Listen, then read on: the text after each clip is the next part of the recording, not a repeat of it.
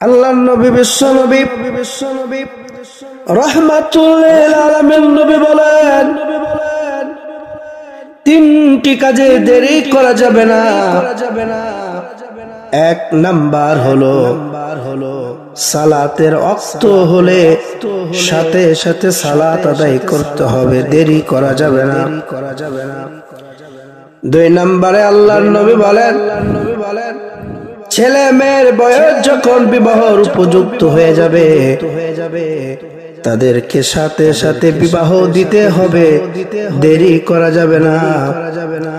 আর তিন নম্বরে আল্লাহ নবী, বিশ্ব নবী রহমাতুল্লিল নবী বলেন, কোন ব্যক্তি যখন মারা যাবে, সাথে সাথে সাথে সাথে দাফন করে দিতে হবে, কাপন পড়িয়া দেরি করা যাবে না যাবে না। এই তিনটি কাজে কেন